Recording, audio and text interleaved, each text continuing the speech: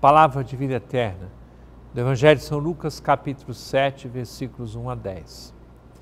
Naquele tempo, quando acabou de falar ao povo que o escutava, Jesus entrou em Cafarnaum.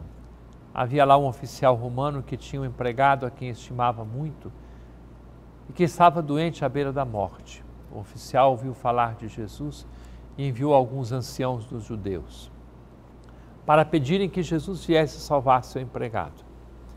Chegando onde Jesus estava, pediram-lhe com insistência: O oficial merece que lhe faças este favor, porque ele estima o nosso povo.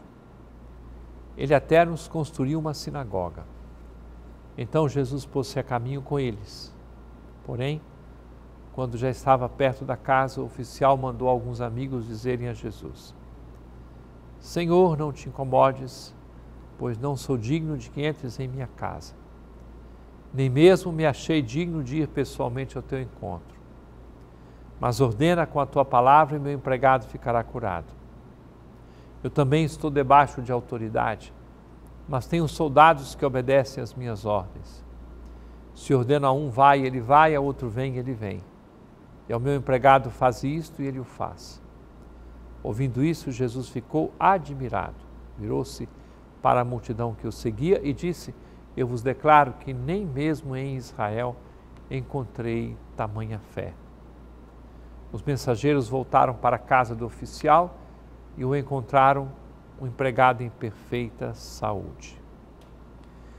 Querido irmão, querida irmã, começamos uma nova semana marcados pela força da palavra de Deus e pela confiança absoluta uma expressão que nós tantas vezes repetimos na Santa Missa: Não sou digno de que entreis em minha morada, mas dizei uma só palavra e eu serei salvo.